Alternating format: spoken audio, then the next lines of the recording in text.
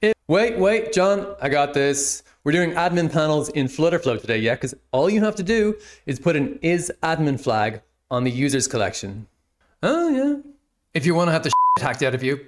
If you want to have administrator rights in your Flutterflow application so that your team or your stakeholders or yourself can modify or view sensitive data, you're going to need something more than having like an is admin flag on your users collection. In this video, I'm going to explain a method for creating a super secure admin privilege for specific users in your Flutterflow app and how to distribute this privilege. And using this concept, we'll build an admin area inside of your app.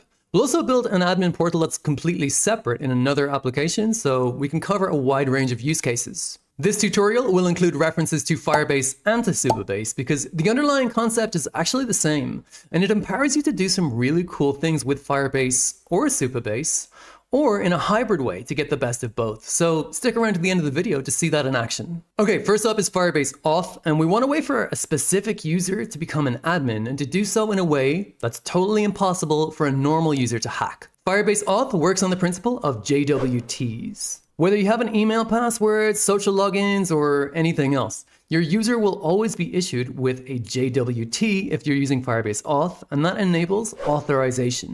Any calls made to your backend, be it to Firestore, Supabase, or a custom API, or whatever, the JWT will be passed with every call and then decoded on the other end. What's cool about JWTs is that they actually contain a payload with details about the user. These can't be tampered with because the JWT is signed when it's minted. Inside of this payload, you can set a property called a custom claim. And Firebase allows you to add custom claims to any user permanently so that whenever a new token gets minted, this custom claim will be included. And by the way, Firebase JWTs expire after about an hour, and so Flutterflow will refresh the token after this period in the background. The token doing all the work is called the access token, and the token doing the refreshing is called, well, the refresh token. If the custom claim has data added to it, all subsequent access tokens minted will contain the custom claim. Okay, now since the custom claim is so secure, we can now add the isAdmin claim, and the common convention actually is to use the key value pair role admin. At this point, you might realize that you could set the custom claim as anything. It could be super admin or manager or executive in charge of ice cream. This is called role-based access control. But remember that if you implement RBAC in this way, the user will need to wait an hour or log out and log in again. So you might need to find a balance between this high security approach, like you need for admins, and user experience. Okay, so how do we create the first admin? You need to code this because it can only be done in a super secure environment. One that by its nature has to make use of the service account credentials from your Firebase project. This is a simplified version of the script I use in Python to set custom claims. And it's important to note that you can do the same thing in any language that supports the Firebase SDK. So from the Firebase SDK, I import the auth module, then I import the credentials handler, I specify which user ID I want to make an admin, I initialize Firebase using the credentials, which in this case I'm loading from an environment file, and then I set the claim.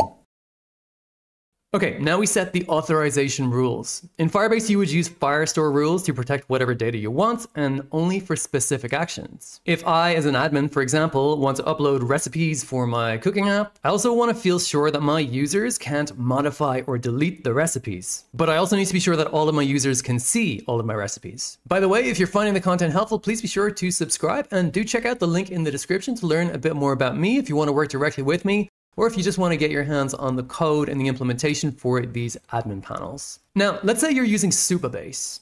One thing that I like to do is stick with Firebase auth and actually validate my tokens on my own backend. So in Python, I decode and verify the token as it's being sent from my Flutterflow app. And then I mint my own Supabase token. This is the feature that'll be available directly in Supabase quite soon, by the way. Supabase JWTs are similar, but not the same. Here I can actually just mint this role called admin, and in this case, the PostgreSQL database will evaluate this PostgreSQS role. And now I can set up row level security using this role. Then I have to create a check that the role field is admin, and then we have a bulletproof admin RLS policy. Do not try to do this stuff in Flutterflow. That's because Flutterflow's job is really just to build the app bundle and the web JavaScript files. It's like a dumb front end, and any code that you include should be thought of as publicly accessible. And actually, for this reason, I can build out an entire admin area in my mobile app. In this case, I hid it behind a long press of a logo here. And I'm sure anyone can just stumble on this by accident, but that does not give them admin access. So you can include a friendly message and tell them, hey, do what you want. You're not authorized to be here. It's the difference between hiding a secret door and asking people not to open it if they find it, versus locking the secret door with a deadbolt. But maybe you want a whole other separate web app just for admins. Here I've created an app with a traditional JavaScript framework called Vue.js, though you could just as easily do this in Flutterflow as well if you wanted to. The reason I did it in Vue is because it is just a dumb front end, so I was able to attach it to my API and host it all together on the same server but I can use the same Firebase credentials, and my role admin custom claim will authenticate me just the same. And now I can manage the app, send notifications or emails, update things like the privacy policy on the fly, I can receive contact form submissions sent from the mobile app. I can even use it as a full content management system. Pretty cool, no? And by the way, if you'd like to learn more about this Supabase Firebase setup together, check out this video next. Thanks for watching, and I will see you in the next one.